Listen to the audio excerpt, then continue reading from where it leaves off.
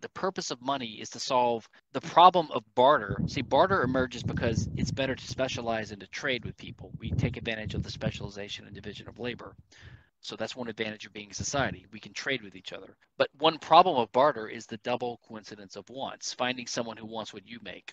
So a medium of exchange arises so that we can have trade without having this double coincidence of wants problem. So money solves that problem, okay? But having more money doesn't solve that problem anymore. Any supply of money will do. So it's unlike other goods, okay? And the second problem it solves is, is economic calculation. Once you have things uh, stated in money prices, everything on the market can be reduced down to a common comparable price in terms of arithmetic.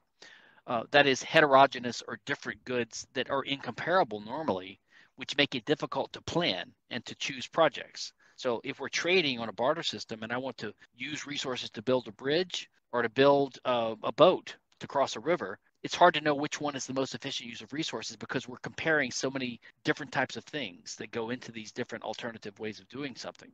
But in if you have money arise, you can compare them in terms of their of their money cost. So if one costs a million dollars and one costs two million dollars, you go with the cheaper one. So money helps you have more efficient use of resources by enabling economic calculation. So basically, the purpose of money is to overcome the problem of barter and to enable economic calculation. But neither one of these functions is aided by producing more money.